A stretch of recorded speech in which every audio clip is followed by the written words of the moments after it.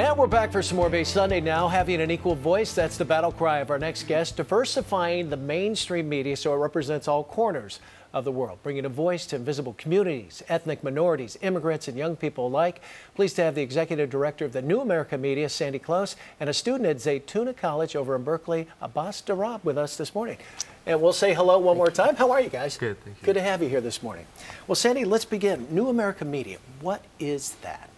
You know, we were greedy journalists that wanted to know what was in the Chinese press, what was in the Spanish language radio, what was coming out in the Afghan and Arab language media. Mm-hmm. And in 1996, we brought about 20 ethnic media to a Chinese lunch, and this extraordinary collaboration of ethnic media that's now national was born with a, a real uh, insight into how anxious ethnic media were to be part of the journalism landscape, to be at the table, to know about each other's communities, and create an AP of ethnic media. And to have a voice, because so many people you can only do so much, and to have that voice there. Well, we're so very, vital. very parochial in America. We Yeah.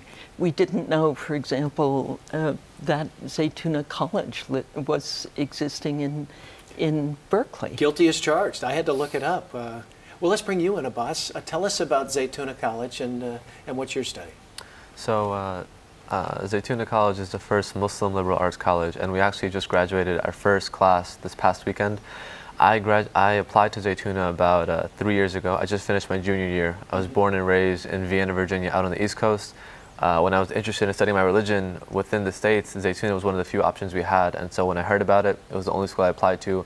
And I've been here three years now, and uh, it's been a great experience. And will you be a journalist? Is that what you want to be, or? Uh, Um, you know, the future, uh, I, do, I don't know what when I was a store. junior, I had no clue either. yeah, I'm not sure what it has in store for me. Um, the, the beautiful thing about Zaytuna is that it's, uh, as a liberal arts, is providing us with the tools to really explore into whatever area we decide to go in.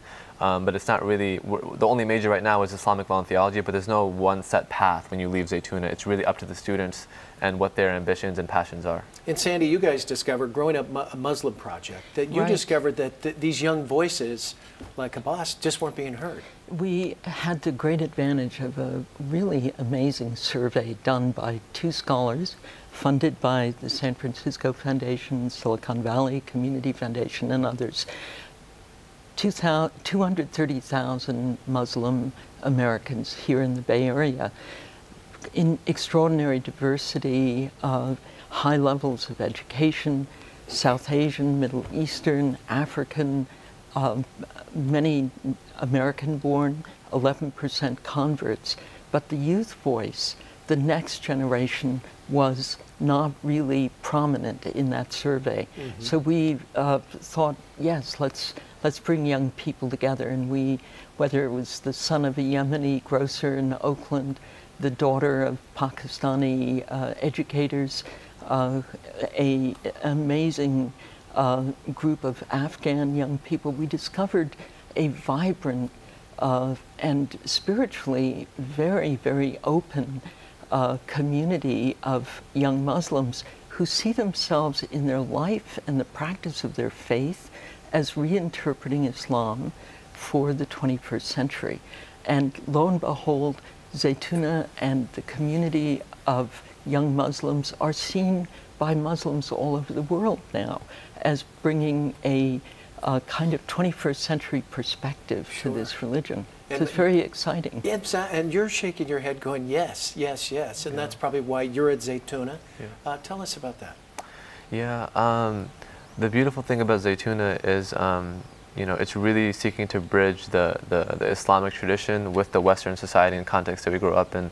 Um, it doesn't see uh, the two mutually exclusive, but rather really uh, in tune with one another. And so we're studying texts, um, you know, we're studying the, the Quran and, and the sayings of the Prophet Muhammad, peace be upon him, while at the same time studying philosophic writings of Plato and Aristotle and studying the American history that we grew up in with in this society to know what type of society we're dealing with when, when we step out of the, of the walls of our school and, you know, uh, really engaging engaging our society with a, with a deep understanding of our history and our philosophy while being grounded in the principles of our religion and, and where we're coming from. So it's a beautiful mix between the two. And linking now to New American Media, how excited are you to, to, to have a voice And to be, uh, because, um, you know, because of some things that have happened in the Middle East, I think Americans, they need to be educated. Right. No, Yeah. most definitely. Um, when Sandy reached out to me, um, I, the basic idea I've got w- w- of what she was trying to do was to create, to create um, a, a platform of understanding and, and, and therefore peace between different peoples of different backgrounds, and also just to connect hearts through storytelling and through through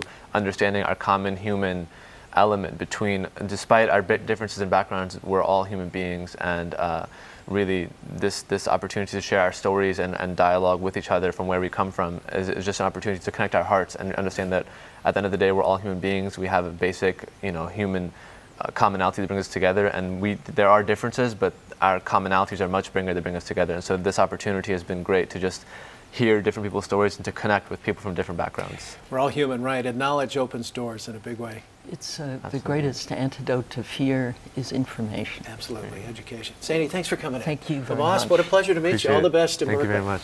Uh, if you'd like more information about New America Media, log on to newamericamedia.org. That's newamericamedia.org. Back with more Bay Sunday right after the break. Stay there, folks.